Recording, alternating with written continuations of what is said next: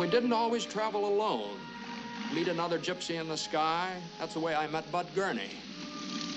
Give him a wave. Invite him to dinner.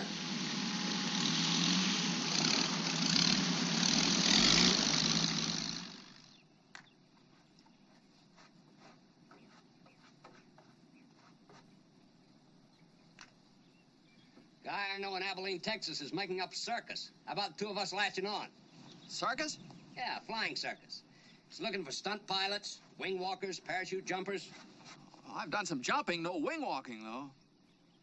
I'll teach you. You'll guarantee us about eight weeks of county fair dates. Ought to be pretty good money. I sure could use the money. That Jenny of mine needs a new set of tires, valve job, too.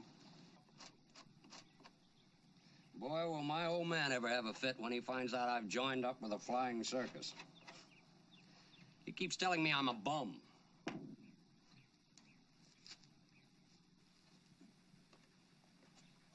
My old man's in the construction business in Wichita, Kansas.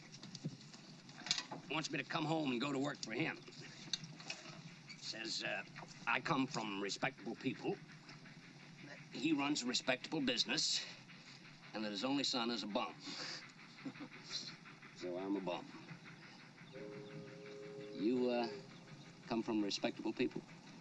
Oh, my father was a lawyer in Minnesota. He was in Congress for 10 years. Congress? Yeah. That's not from a, uh, you can't do it from a plane. My old man says flying is for the birds. Is that what he said? And that if God meant us to fly, he would have made our bones as hollow as our heads. Maybe there's something wrong with us. All right. Well, maybe. What is it? What makes us go up there? Oh. You tell me.